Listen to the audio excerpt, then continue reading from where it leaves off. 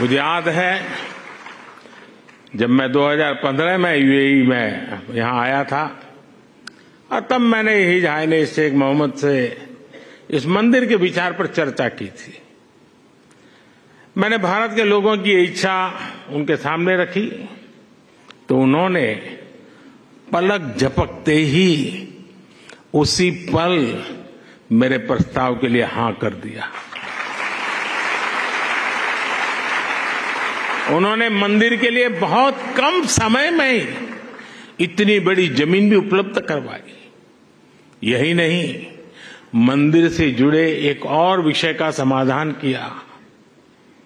मैं साल 2018 में जब दोबारा यूएई आया था या संतों ने मुझे जिसका ब्रह्मविहारी स्वामी जी ने अभी वर्णन किया, मंदिर के दो मॉडल दिखाए।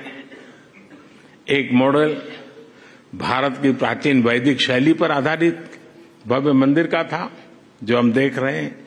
दूसरा, एक सामान्य सा मॉडल था, जिसमें बाहर से कोई हिंदू धार्मिक चिन्ह नहीं थे। संतों ने मुझे कहा कि यूएई की सरकार जिस मॉडल को स्वीकार करेगी, उसी पर आगे काम होगा।